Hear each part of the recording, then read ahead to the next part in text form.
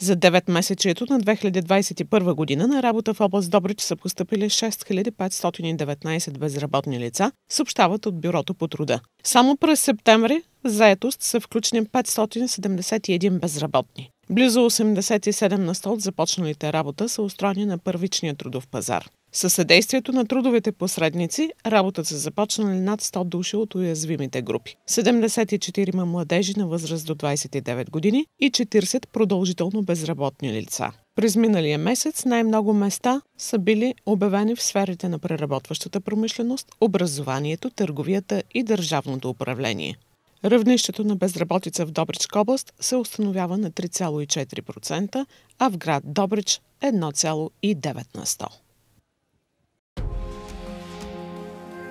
Blue Energy уведомява своите клиенти, че продължава да доставя газ по домове и фирми при пълна безопасност на обслужването и спазване на всички мерки за защита, разпоредени от Националния щаб за борба с коронавируса. Гарантираме сигурност и технически контрол на доставените точно напълнени бутилки и оборудване.